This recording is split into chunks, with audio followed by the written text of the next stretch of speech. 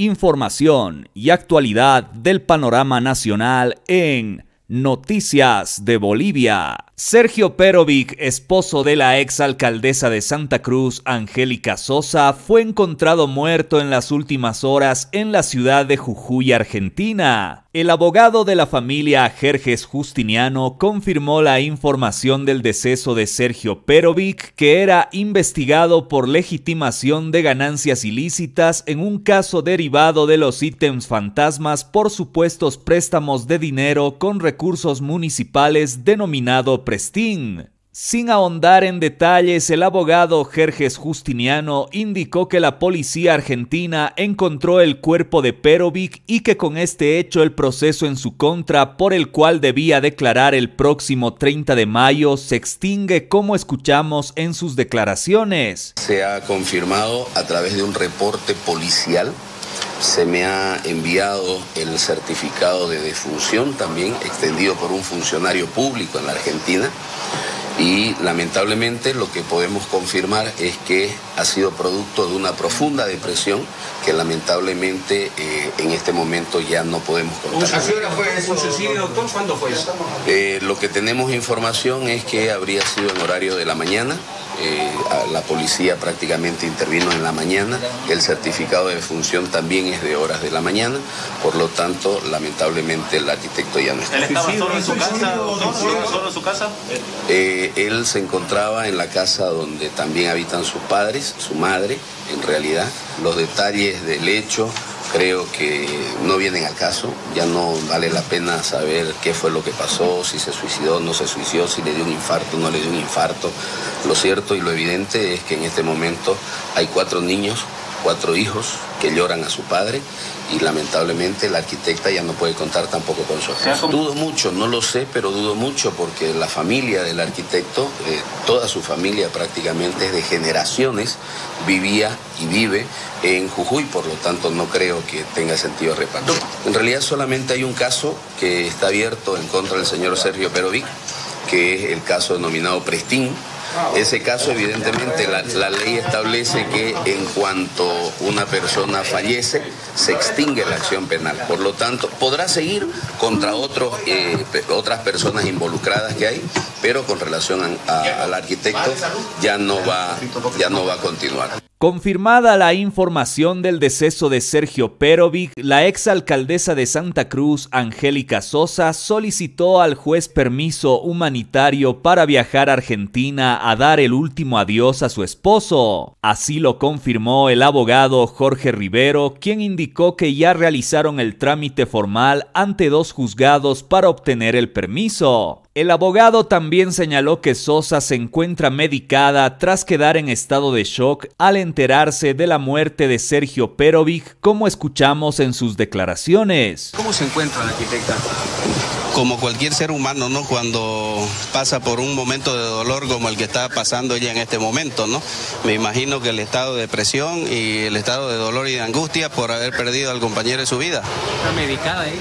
Sí, está medicada porque han estado en un, en un, momento de depresión, entonces los médicos del penal la han estado atendiendo. ¿Los hijos del arquitecto? Los hijos hoy se pidió un permiso extraordinario para que puedan entrar a verla a su madre y seguramente estarán ya viendo los recaudos para poder viajar y estar en las exequias de sus padres, ¿no? ¿Ellos este, viajarán a...? Eh, tienen que viajar, eh, eh, cualquier hijo lo haría, ¿no? No, o sea, vamos a pedirle al juez, ¿no? Pero veremos qué sucede. ¿Hay un mecanismo para abrir esa posibilidad de que ella pueda viajar?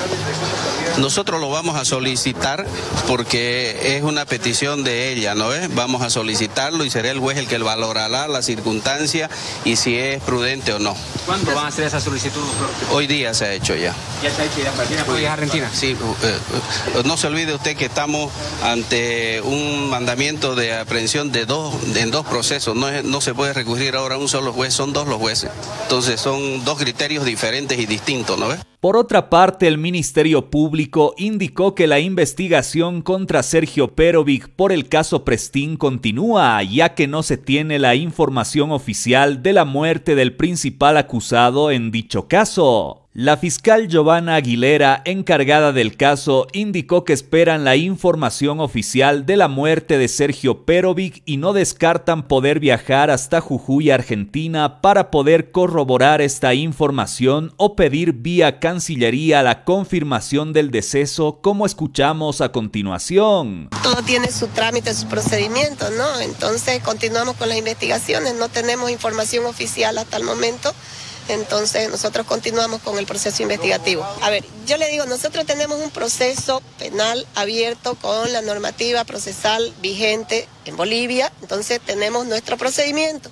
La información que dé extraoficial cualquier persona, abogado o, o incluso alguna autoridad que no sea oficial y dentro del proceso nosotros no la consideramos hasta no tenerla eh, recabada oficialmente y conforme a nuestro procedimiento penal. Entonces el proceso continúa abierto, seguimos con las investigaciones. El proceso que nosotros conocemos es uno solo, el proceso aperturado en su contra por un presunto delito de legitimación, ampliado por enriquecimiento ilícito de particulares con afectación al Estado. Sí, se ha enviado la cooperación internacional a efecto de que se lo pueda citar con este proceso. Estábamos en ese proceso. La información que se está manejando es por las redes, en todo caso nosotros veremos de solicitarla oficialmente si es que no nos llega de otra forma, ¿no? El diputado del MAS, Rolando Cuellar, como parte querellante en el caso Prestín, pide que la Fiscalía de Santa Cruz inmediatamente conforme una comisión que viaje a Jujuy, Argentina, para verificar el cuerpo sin vida y la veracidad del certificado forense que confirme el deceso de Sergio Perovic. Según el asambleísta, el caso Prestín no se puede cerrar todavía ya que se tiene que recuperar la plata de los cruceños para invertirlas en obras de salud y educación, como escuchamos en sus declaraciones. Como parte querellante del proceso ITEN Fantasma, pedimos a la Fiscalía Departamental de Santa Cruz conformar inmediatamente una comisión para viajar al país de la Argentina a Jujuy para la veracidad del cuerpo sin vida del señor Sergio Perovic y verificar con el Ministerio Público y la Policía de la Argentina la veracidad del certificado forense. En un proceso de investigación de corrupción que hay en el municipio de Santa Cruz, se tiene que investigar y bajo procedimiento penal se tiene que concluir con la investigación y le pedimos a la comisión de fiscales inmediatamente viajar porque los recursos de la denuncia de corrupción se tienen que invertir en salud, educación y en obras para el pueblo cruceño. Por su parte, Eric Morón, senador de Creemos, expresó sus condolencias y solidaridad a la exalcaldesa de Santa Cruz, Angélica Sosa, por la muerte de su esposo Sergio Perovic y dijo que más allá de los juicios de valor por los procesos en su contra, ella ocupó el sillón municipal de Santa Cruz y le desea paz y resignación en su corazón en este momento difícil. Bueno, sin duda alguna, es una tristeza y tenemos que ser solidarios con las personas y con el dolor familiar que puede tener cualquier persona, y en este caso una exalcaldesa de nuestro departamento, de nuestra ciudad de Santa Cruz de la Sierra, toda nuestra solidaridad, ojalá que le dé eh, Dios resignación y paz a toda su familia, a su corazón, una pena también por sus hijas y por toda su familia, y obviamente estamos con ella dándole todo nuestro apoyo solidario como persona, como humano y como una ex autoridad que tuvo eh, la ciudad de Santa Cruz de la Sierra. Lo humano ante todo, a pesar de todo. Lo eh, lo humano, lo solidario nunca se debe perder, las sillas son transitorias, todos sabemos que las sillas son transitorias, los procesos de investigación todos tienen que que investigarse, pero en estos momentos de dolor, de pena, de tristeza, lo único que le deseamos es que haya paz y resignación en su familia. Ha sido ex concejal, ha sido ex alcaldesa, más allá de los juicios de valores o de los procesos de investigaciones que hayan, ocupó un sillón importante en la ciudad de Santa Cruz de la Sierra.